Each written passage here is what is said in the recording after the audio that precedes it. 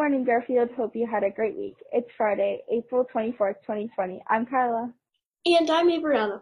Please stand for the Pledge of Allegiance.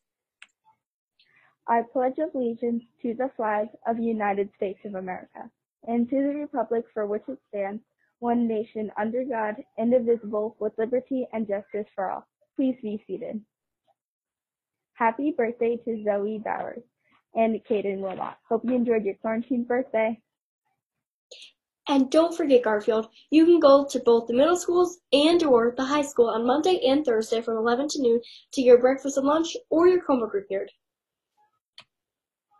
Please work on not touching your face. This is one way the virus can be spread when you go out of the house. Please, please wear a mask and wash and wash your hands. Now over to Abriana on what to do segment of the day. Hello. Are you bored while stuck in the house? Well, so am I. But I have a couple solutions for you today and for in the future. All you need for today's solution is your Chromebook. Head to the Lakewood City Schools website and go to Garfield's page. Next, head into the library and start reading. The possibilities are endless. There are many different options of ebooks and more. Enjoy. Now over to Kyla with a positive quote.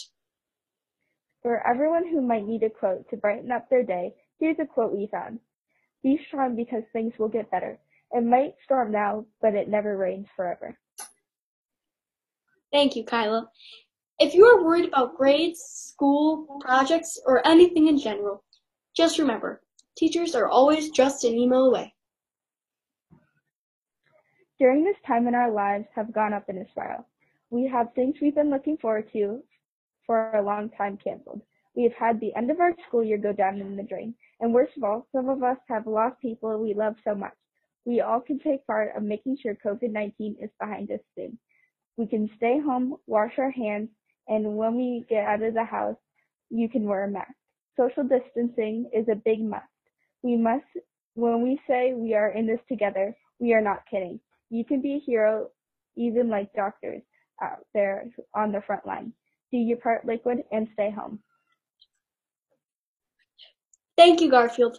And remember, we are all in this together. From Kyla, Luke, Abriana, and Fallon.